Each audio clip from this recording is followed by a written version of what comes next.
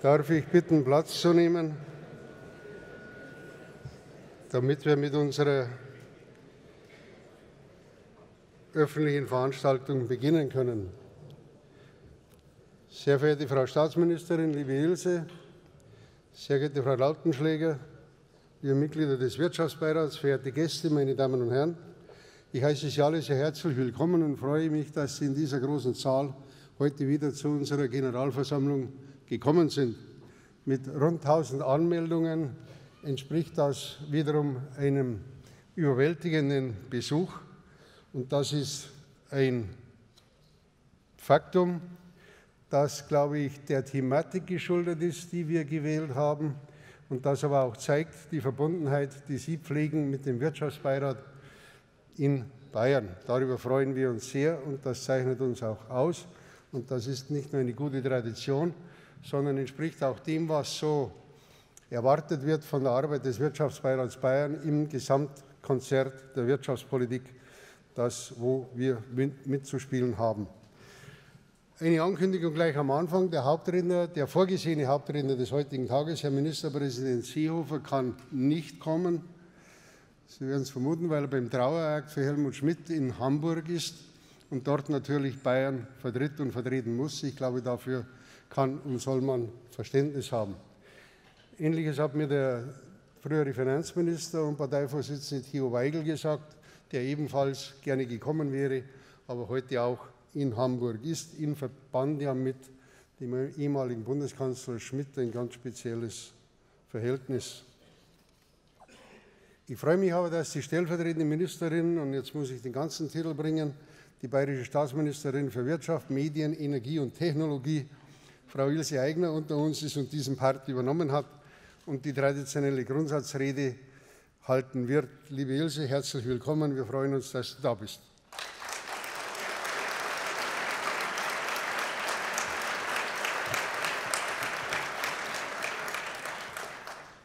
Es ist ja, wenn ich mich richtig erinnere, in meiner Amtszeit zum zweiten Mal, dass du diese Aufgabe übernimmst. Und da bin ich dir sehr dankbar dafür. Ein besonderer Gruß gilt auch Frau Sabine Lautenschläger. Sie hat einen ähnlich langen Titel, ist Mitglied des Direktoriums der Europäischen Zentralbank und stellvertretende Vorsitzende im Aufsichtsgremium des einheitlichen Aufsichtsmechanismus. Ist das richtig gesagt? Dann herzlich willkommen.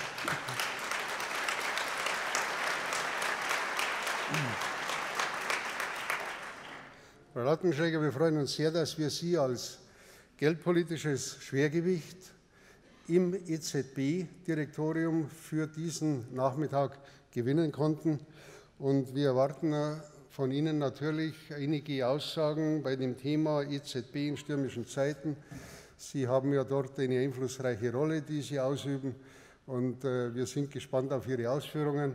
Und wir haben uns vorher kurz unterhalten und festgestellt, dass wir uns seit ungefähr 15 Jahren kennen. Sie waren damals bei der Deutschen Bankenaufsicht in Bonn und wir hatten damals das leidige Thema Schmidt-Bankhof zu behandeln, das ja zu einem relativ guten Ergebnis dann geführt werden konnte. Da bin ich Ihnen heute noch dankbar dafür. Und bei der Gelegenheit erlauben Sie mir noch eine persönliche Anmerkung. Vor 15 Jahren hatte ich eine kleine Broschüre zu schreiben mit dem Titel Soziale Marktwirtschaft im 21. Jahrhundert. Und da drin habe ich die Prognose gewagt, dass das 21. Jahrhundert auch im Bereich der Wirtschaft und der Wirtschaftspolitik ein Jahrhundert der Frauen werden wird. Dass es so schnell geht, habe ich mir auch nicht gedacht. Das, dass wir gleich zwei Damen als Hauptreferenten bei unserer Wirtschaftsbeiratsversammlung haben. Aber wir lassen uns überraschen und von guten Dingen überzeugen. Bei ich kann natürlich nicht alle Gäste wie üblich begrüßen, aber bei ein paar Gästen äh, möchte ich eine Ausnahme machen. Und das gilt, übernommen von meinem Vorgänger, Ladies First. Ich begrüße alle Damen, die zu uns gekommen sind und freue mich über Ihren Besuch.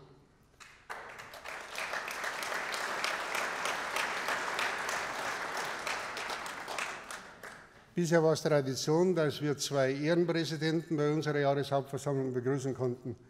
Das war immer der Herr Dr. Alfred Pfeiffer, und der Dr. Dieter Soltmann.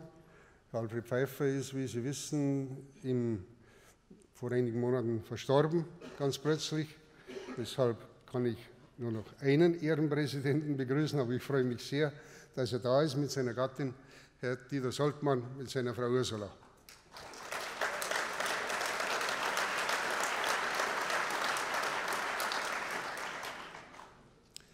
Und herzlichen Dank, dass auch der jetzt erste Vizepräsident Dr. Jürgen Kammer mit seiner Frau da ist und Herr Hammer, der neu gewählte zweite Vizepräsident, ebenfalls bei uns bei dieser Veranstaltung anwesend ist. Ich begrüße den Herrn Staatssekretär AD Alfred Bayer und Heribert Speth als die früheren Vizepräsidenten. Und ich begrüße unseren Schatzmeister, Herrn Dr. Jürgen Niels, mit seiner Frau, Herrn Kammer im Übrigen auch mit seiner Frau. Und ich kann mich ja nicht selber begrüßen, sonst hätte ich mich begrüßt mit meiner Frau. Aber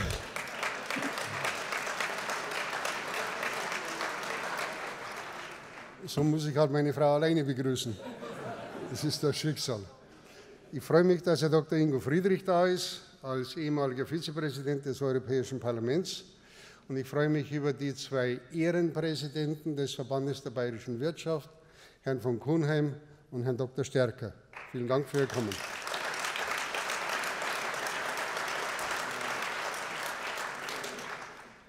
Und jetzt glaube ich, fassen wir den Beifall dann am Schluss der Begrüßungsliste zusammen. Ich begrüße Frau Dagmar Wörl vom Deutschen Bundestag, Herrn Alexander Radwan aus dem Landtag, Herrn Dr. Ottmar Bernhard, Herrn Hans Hintersberger, Herrn Florian Herrmann, Herrn Walter Nüssel, Herrn Klaus Stöttner und von den früheren Bundes- und Landtagsabgeordneten und Mitgliedern der Staatsregierung den EU-Kommissar Herrn Peter Schmidhuber, Herrn Kollegen Kurt Faltlhauser, Herrn Staatsminister AD Wolfgang Heubisch, Dr. Josef Miller, Werner Schnappauf, Herrn Staatssekretär AD Georg Hauser und meinen alten Freund und Partner im Bayerischen Staatsministerium für Wirtschaft und Verkehr und Technologie damals, Herrn Hans Spitzner, mit dem ich zwölfeinhalb Jahre optimal zusammengearbeitet habe.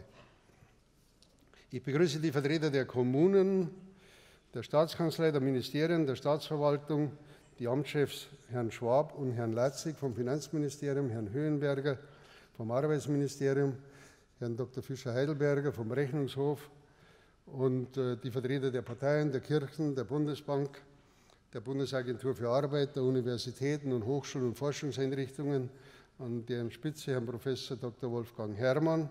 Herzlich willkommen. Und ich bin sehr dankbar, dass Herr Professor Sinn heute früh da war, mit dem wir die gesellschaftspolitischen und wirtschaftlichen Folgen der Zuwanderungsbewegung diskutiert haben. Herr Sinn musste weg, weil er eine Vorlesung halten musste. Herr Kammer hat ebenfalls zu diesem Thema und speziell zum Einfluss des Islam ein Referat gehalten. Meine Damen und Herren, das Thema hat uns sehr beschäftigt. Ich begrüße die Vertreter des Konsularischen Korps. Für die Medienvertreter stellvertretend Herrn Prof. Dr. Martin Balle. Ich begrüße die Vertreter unserer Sponsoren und danke Ihnen, dass Sie gekommen sind. Und ich begrüße noch einmal alle Mitglieder und unsere Gäste und wir freuen uns, dass Sie gekommen sind und jetzt ist ein herzlicher Beifall fällig.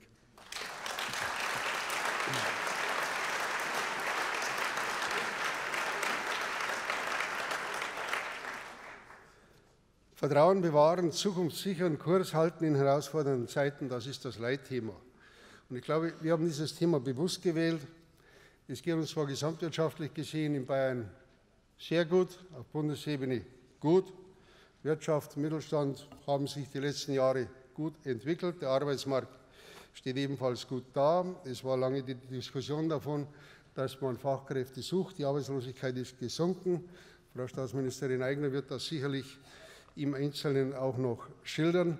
Aber ich sage auch dazu, jenseits all diesen Optimismus gibt es auch Grund dafür, sich zu überlegen, wie das weitergeht, wie die nächsten fünf und zehn Jahre ausschauen werden und was man tun muss, damit sie gute Jahre werden. Ich glaube, das ist eine permanente Aufgabe der Wirtschaftspolitik, zu sehen, wie die Entwicklung ist und vorauszuschauen, um Fehler zu vermeiden und um richtige Weichenstellungen zu treffen. Nicht erst dann, wenn es schwierig wird, zu sagen, jetzt müssen wir was anderes machen, sondern rechtzeitig die Weichen richtig zu stellen. Aus Sicht von jenseits der Grenzen kann man sagen, äh, ist unser Land ebenfalls hochattraktiv, sonst würden nicht so viele kommen. Aber wie gesagt, wir haben auch Herausforderungen, denen wir zu begegnen haben. Das ist zum einen natürlich, und das wird ja bei der Flüchtlingsdebatte in den Hintergrund gedrängt, das ist immer noch das ungelöste Problem Griechenland, das ist immer noch das ungelöste Problem Euro. Ich denke nicht, dass wir schon im sicheren Fahrwasser sind. Das ist immer noch das Thema der Staatsverschuldung in verschiedenen Ländern. Das ist auch, auch ökonomisch betrachtet, das Verhältnis zu Russland. Das ist der globale Wettbewerb, der stärker wird. Das ist der digitale Wandel, wo ja Bayern hervorragende Akzente gesetzt hat. Das ist die Energiewende, die noch nicht verdaut ist. Das sind große Herausforderungen, die wir alle insgesamt haben. Aber natürlich wird es zurzeit aktuell von der Flüchtlingsflut überlagert, äh, die bisher noch unkontrolliert und ungesteuert unser Land erreicht. Ich denke auch, und das ist eines der zentralen Themen, die wir generell haben, das europäische Recht ist hier in manchen Bereichen faktisch außer Kraft gesetzt worden oder nicht mehr wirksam oder nicht mehr eingehalten.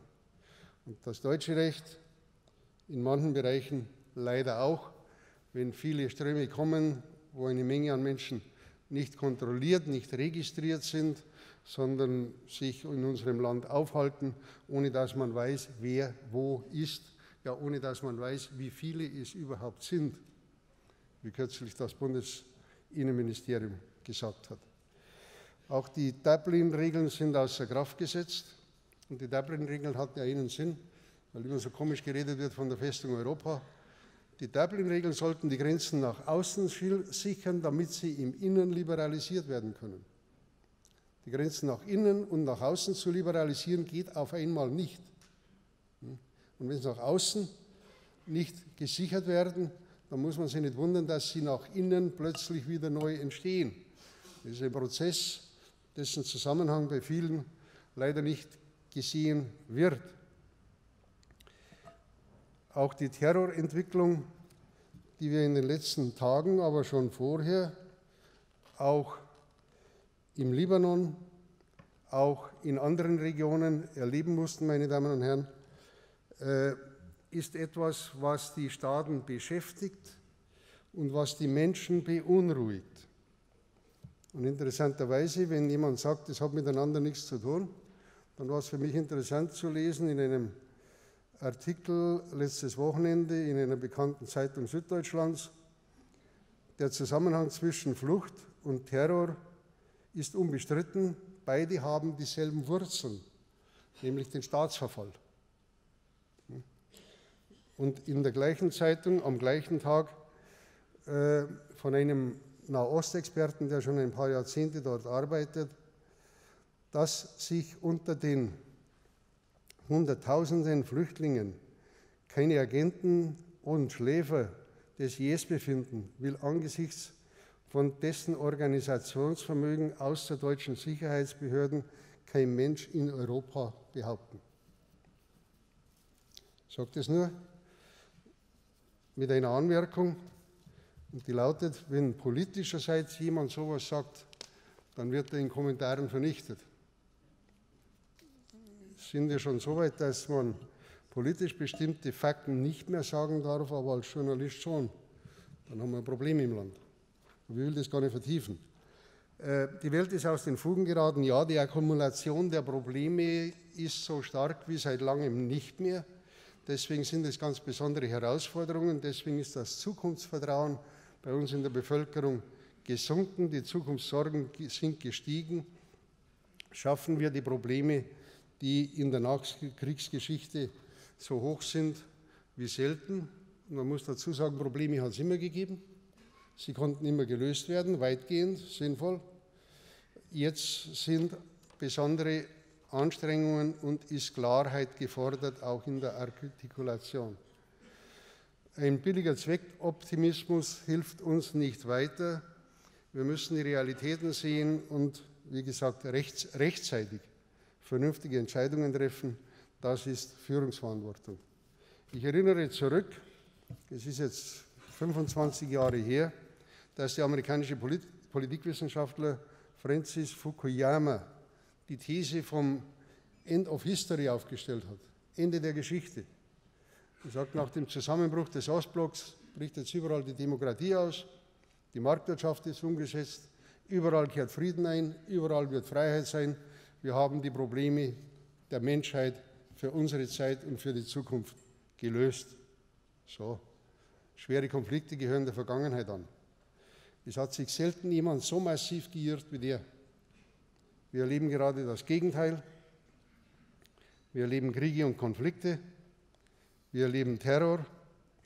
Wir erleben Anschläge. Und wir erleben die Ratlosigkeit, dem zu begegnen. Wir erleben, dass jeder unser Menschenbild betont und die christlichen Werte betont und betont, dass man die verteidigen muss und dass wir uns von anderen unterscheiden und unterscheiden müssen und diejenigen, die zu uns kommen, unsere Werte annehmen müssen, meine Damen und Herren. Das ist alles richtig, aber man muss schauen, dass sich das nicht im Bereich der Deklamationen hält. Man muss schauen, dass hier einiges umgesetzt wird. Trauer und Mitgefühl, ja, aber dann auch wieder zur Tagesordnung um, überzugehen, reicht nicht. Und wenn zur Bekämpfung dieser Themen gesagt wird, wir müssen die Terrorursachen und die Wanderungsursachen bekämpfen, dann kann ich auch sagen, das ist richtig. Aber was ist die letzten viereinhalb Jahre passiert bei dem Irakkrieg und bei dem Krieg in, in, in Syrien? Da hat jeder seine Deklamationen aufgesagt. einige haben gesagt, Frieden ja, aber nur ohne Assad. Die nächsten haben gesagt, Frieden ja, aber mit Assad. Und die nächsten haben gesagt, ja, da muss man schauen, wie das weitergeht. Und man hat zur Abwehr des Ganzen die Kurden, die eigentlich keinen Staat haben und kein Staat sind, partiell ausgerüstet und gehofft, dass sie dem begegnen können und sich selber auf Luftschläge beschränkt. Das ist ja alles schön, aber zweifelhaft. Jetzt, wo Russland vorangegangen ist in Syrien, und man kann es inhaltlich billigen oder nicht, jetzt bewegt sich was. Und jetzt ist man zum ersten Mal bereit, über Friedensverhandlungen zu reden und über den Weg zum Frieden zu reden. Und jetzt äh, erleben wir, dass Europa gefordert ist mit einer gemeinsamen Außenpolitik und auch die Diskussion beginnt zumindest mit einem gemeinsamen Vorgehen in militärischen Fragen. Jetzt will ich das Thema gar nicht vertiefen. Nur für mich ist es erstaunlich, dass wir beim Thema gemeinsame Außenpolitik, gemeinsames Vorgehen bei militärischen Fragen weit weg sind von einem Zustand, den man bräuchte, genauso wie übrigens bei einer gemeinsamen Rüstungsexportpolitik in der Europäischen Union. Auch hier gibt es keine Gemeinsamkeiten, obwohl sie notwendig wären. Und ich bin gespannt, was bei uns für eine Diskussion stattfinden würde, wenn man sagen würde, es kommen eine Menge an jungen Leuten aus Syrien und dem Irak. IS ist aber nur der Bodentruppen zu beseitigen, da müssen wir uns beteiligen, da müssen dann unsere jungen Soldaten hin. Und die Waffen, die die Leute dort unten eigentlich bräuchten, die liefern wir nicht. Da kommen einige Dinge sehr, sehr in Schwierigkeiten. Ich reiße das nur an, weil ich sage, die Logik unserer Politik oder der westlichen Politik ist in diesem Bereich nicht mehr erkennbar. Ich habe neben meiner Aufgabe als Vorsitzender des Wirtschaftsbeirats ja auch die Deutsch-Arabische Freundschaftsgesellschaft in Berlin zu leiten und da wird vieles über diese Themen diskutiert. Die Erwartungen an den Westen waren und sind hoch. Die Erwartungen an den Westen waren nicht die, dass ein amerikanischer Präsident ohne Grund einen Krieg beginnt. Die Erwartungen an den Westen wären anders. Und mit dem Geld, das man für kriegerische Auseinandersetzung verbraten hat, hätte sich viel Friedliches erreichen lassen, aber ich will das gar nicht vertiefen. Ich sage nur, wir werden hier stärker gefordert sein, wenn wir sowohl dem Flüchtlingsansturm wie dem Terror stärker begegnen werden. Dass die bayerische Staatsregierung hier eine sehr klare Politik betreibt. Liebe Ilse, will ich anerkennen. Die Positionen, die bezogen werden, sind richtig, sind gut, gefallen nicht jedem in der Öffentlichkeit, sind auch nicht immer medienwirksam, aber ich meine im Sinne der Bevölkerung richtig. Was in der bayerischen Wirtschaftspolitik gemacht wird, euer Pakt mit den Betrieben, der dafür sorgen soll, dass es, wenn ich es richtig gelesen habe, 60.000 Arbeitsplätze für Zuwanderer in der nächsten Zeit gibt und Ausbildungsplätze, ist gut und richtig, weil der erste Schritt der Integration immer bedeutet, den Menschen Beschäftigung, Arbeit zu vermitteln, damit sie sich gegebenenfalls ihre Familien selber ernähren können und nicht dem Steuerzahler zur Last fallen. Das ist der richtige Schritt. Aber auch bei diesem Schritt wird gefragt, wie viel kann man denn leisten? Und das wird die Wirtschaft auch fragen. Wie viel kann man denn leisten oder wie viel bürdet man uns auf? Und auch hier ist ein klarer Blick erforderlich. Die bisherigen Zahlen sagen ja, dass man 10 Prozent ziemlich zügig vermitteln kann, weitere 40 Prozent vielleicht im Laufe von fünf Jahren. Und was mit den weiteren 50 Prozent passiert, das weiß noch keiner. Die Kosten werden zweistellig sein und die nächsten Jahre bleiben. Was mich überrascht hat auch, aber das schneide ich nur kurz an, ist, dass heute schon 50 Prozent der Bevölkerung zu diesem Thema nach den Umfragen, die vorliegen, nicht mehr das sagen, was sie denken.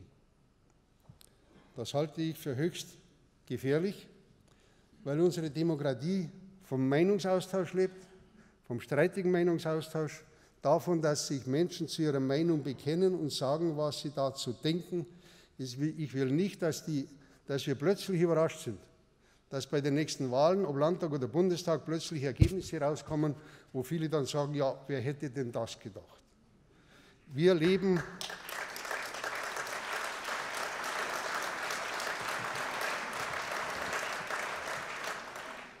Wir leben von der Offenheit und Transparenz der Meinungen und von der Diskussion zu all den Themen, die relevant sind.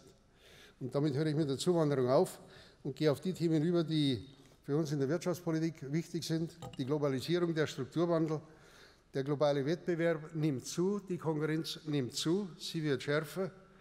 Die USA melden sich zurück in der Industriepolitik dank einer sehr strategisch angelegten Energiepolitik.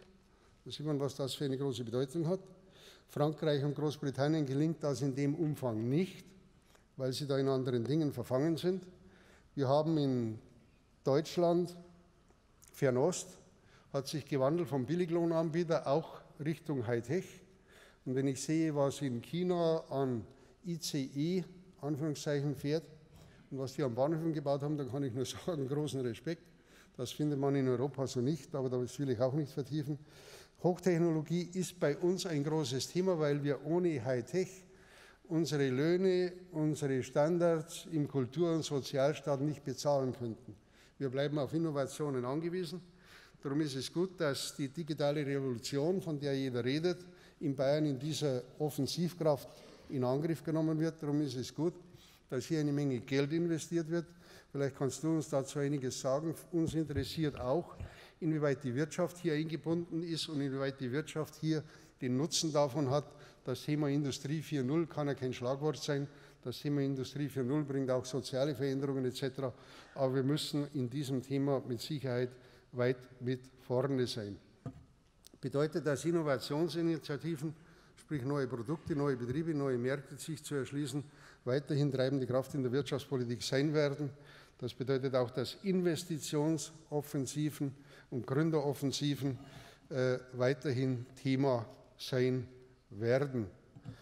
Und auch hier eine kleine Anmerkung.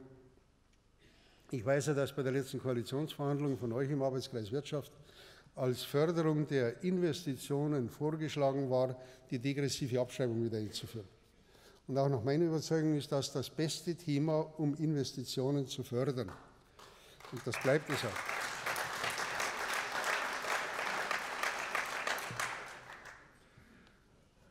Es ist am Schluss abgelehnt worden mit einem seltsamen Argument. Und das Argument hat gelautet, es läuft ja alles ganz gut, das brauchen wir jetzt gar nicht. Und wenn es nicht mehr so gut läuft, dann kann man ja das wieder auflegen. Und da kann ich nur sagen, meine Damen und Herren, alte wirtschaftliche und wirtschaftspolitische Erfahrung. Investiert wird in guten Zeiten und die Investitionen, die in guten Zeiten nicht kommen, kommen in schlechten Zeiten gar nicht. Insofern, wenn man Investitionen anreizen will, muss man sie in guten Zeiten anreizen. Und wenn wir feststellen, dass wir bei Investitionen in Deutschland nicht nur bei den energieintensiven Betrieben, sondern auch bei den anderen unter dem OECD-Schnitt sind seit Jahren, dann ist es höchste Zeit, den Kapitalstock zu optimieren und wieder aufzubessern, weil ein, eine gute Grundlage, eine gute Produktionsgrundlage ein guter Kapitalstock, das A und O sind für uns, damit die Wirtschaft auch in Zukunft vernünftig läuft. Bei der Verkehrsinfrastruktur, bei der Infrastruktur, bei der Glasfaser macht Bayern viel. Ich hoffe, vom Bund unterstützt. Bei der Verkehrsinfrastruktur äh, werden die Mittel oder sind die Mittel aufgestockt worden im Straßen- und Schienenbau. Auch das ist positiv. Beim Thema Flughafen München hoffen wir auf eine vernünftige Entscheidung in absehbarer Zeit. Ich will das gar nicht weiter vertiefen, weil die Diskussion aufgeheizt genug ist. Äh, die Privatwirtschaft, wie gesagt, braucht Investitionen, damit die Investitionslücke geschlossen ist. Auch das ist ein Thema der binnenländischen Nachfrage. Aber noch einmal, die Nettoinvestitionen der Wirtschaft liegen nur noch bei 0,5 Prozent. Und bei den energieintensiven Branchen investieren wir nur noch 80 Prozent der Abschreibungen. Das heißt, das ist faktisches Desinvestment. Und Desinvestment passiert bei uns nicht so, dass Betriebe kommen, nehmen ihren Betrieb unter den Arm und gehen ins Ausland, sondern die Neuinvestitionen finden nicht mehr bei uns, sondern woanders statt. Und das ist ein schleichender Prozess. Und diesen schleichenden Prozess sollte man rechtzeitig beobachten, sonst gibt es irgendwann ein böses Erwachen, weil wir uns dann fragen müssen, womit beschäftigen wir uns, beschäftigen wir die Menschen, womit verdienen die unser Geld, wie läuft die Wirtschaft rund, auch mit den Arbeitsplätzen, die wir brauchen.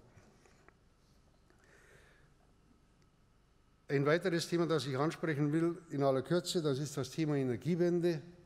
Es gibt da seit einiger Zeit Klärung dahingehend, dass der Leitungsbau erforderlich ist.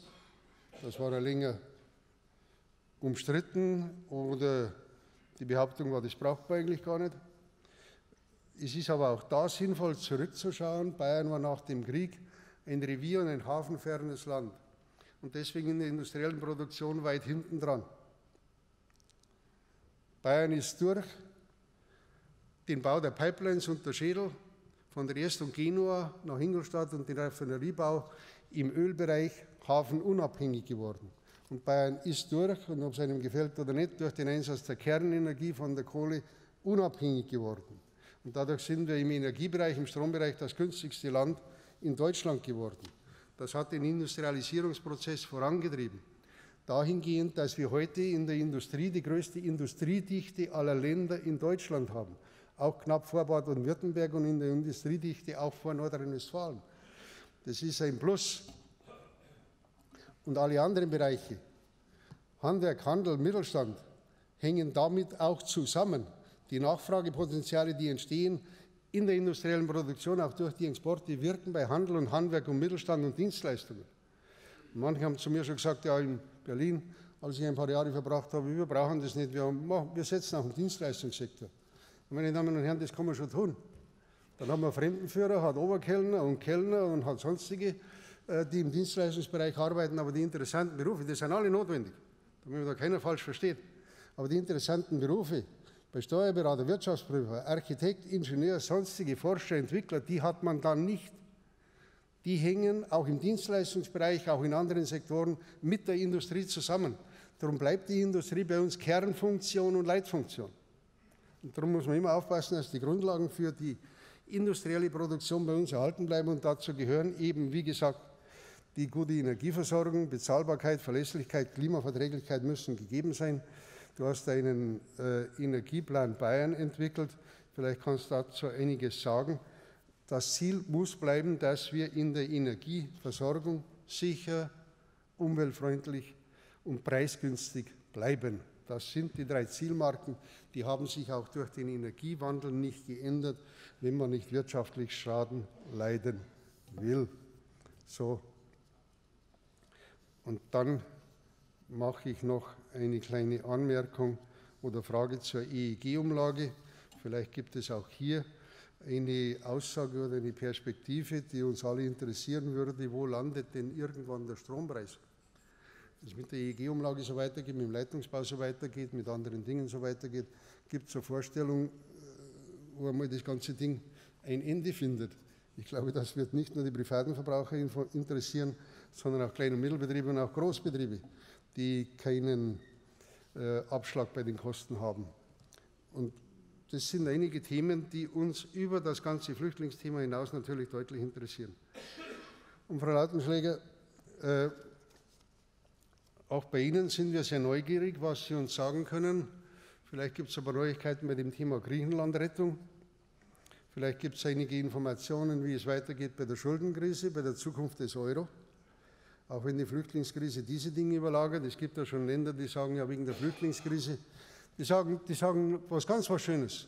Wir nehmen zwar keine Flüchtlinge auf, aber wegen der Flüchtlingskrise möchten wir viel mehr Liberalität in der Neuverschuldung.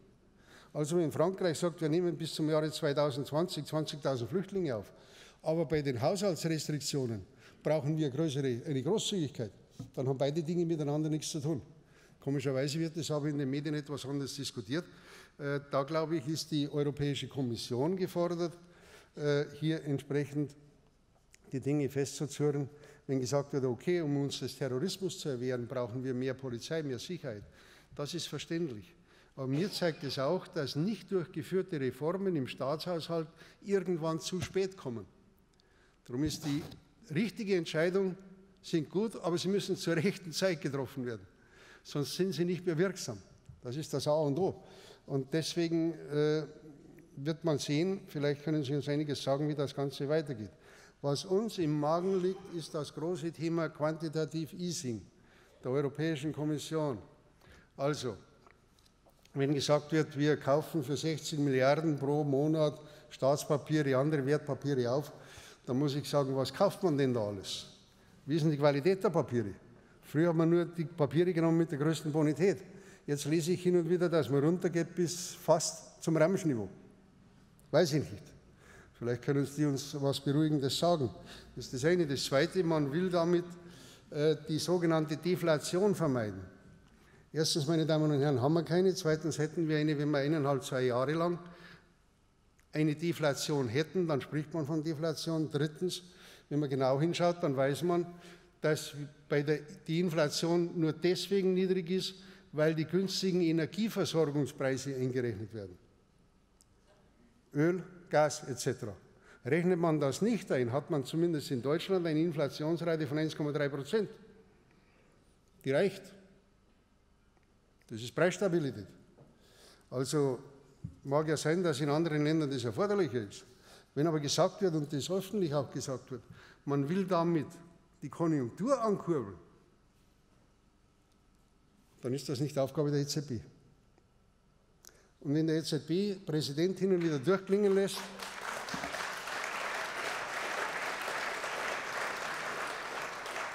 das habe ich im Übrigen nicht ich erfunden, da steht so in den Verträgen. Ja, ja, ja. Und wenn der EZB-Präsident, und im Übrigen hat der EuGH das genauso gesagt bei seinem Urteil, und wenn der EZB-Präsident sagt, ja, äh, ich will damit auch den, die Währungsparität beeinflussen, dann ist das auch nicht seine Aufgabe. Seine Aufgabe ist die Sicherung der Währungsstabilität. Da kann man sagen, ein bisschen Inflation will ich, aber äh, dieses Quantitative Easing soll ja auch, wie es immer heißt, dazu führen, dass die Banken genug Geld haben, um die kleinen und mittelständischen Betriebe mit Geld zu versorgen.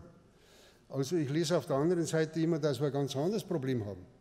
Die Banken sagen, wir haben einen Anlagenotstand. Wir wissen nicht, wohin mit dem Geld. Wir haben genügend. Die Betriebe nehmen es nicht ab. Und die Betriebe, meine Damen und Herren, investieren nicht deswegen nicht, weil nicht genug Geld da wäre zur Finanzierung der Investitionen, sondern sie finanzieren zum Teil deswegen nicht, weil nicht genug Vertrauen da ist in die weitere wirtschaftliche Entwicklung in Deutschland und Europa.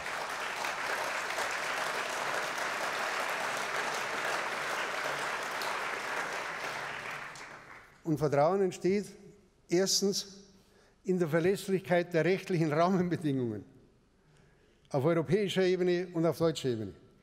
Und wenn manche Gremien sagen, was im Gesetz steht oder in Verträgen, das ist mir ziemlich wurscht, weil ich bin ja unabhängig, tja, dann kann ich nur sagen, die Unabhängigkeit wurde der EZB gegeben, um ihren gesetzlichen Auftrag zu erfüllen.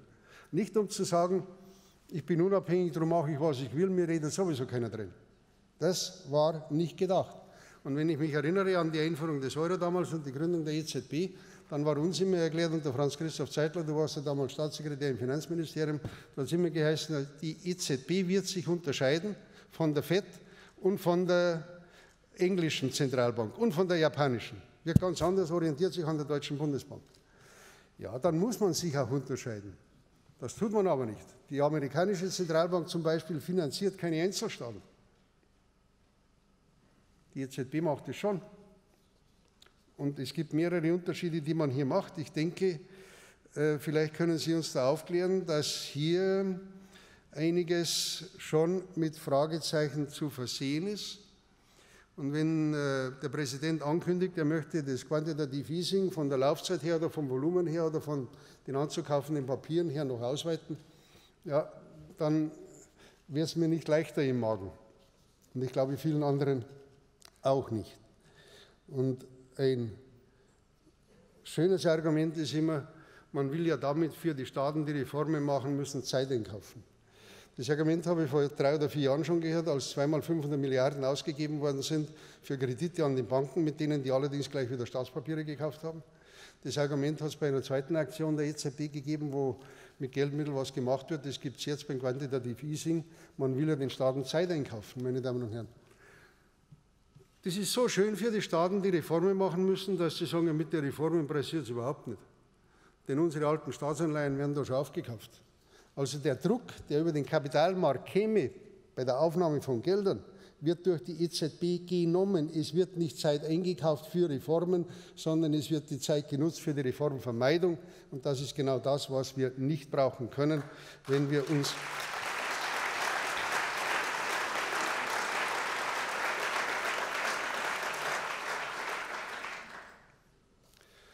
Und das sind einige der Fragen, die wir haben, wo wir uns erhoffen, dass Sie dazu uns was sagen können.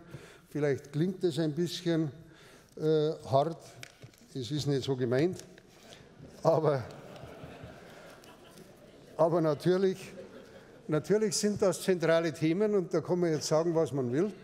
Äh, wir sind abhängig von dem, was die EZB macht, ohne dass irgendeine Regierung oder ein Parlament darauf Einfluss nehmen kann oder besser gesagt will. Denn das sage ich auch zum Schluss. Eine öffentliche Diskussion um die eigentliche Rolle der EZB fehlt mir schon. Und ich wundere mich, dass manche